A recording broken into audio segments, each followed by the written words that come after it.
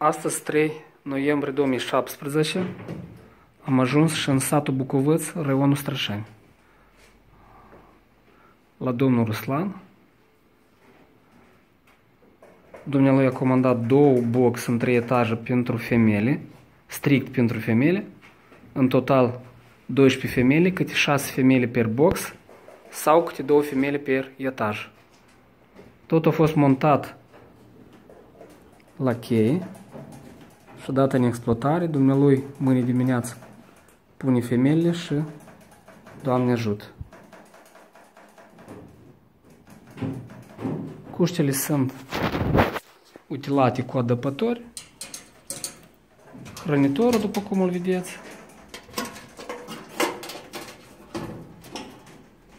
Cuiburile care se închid. Avem tazuri în interior.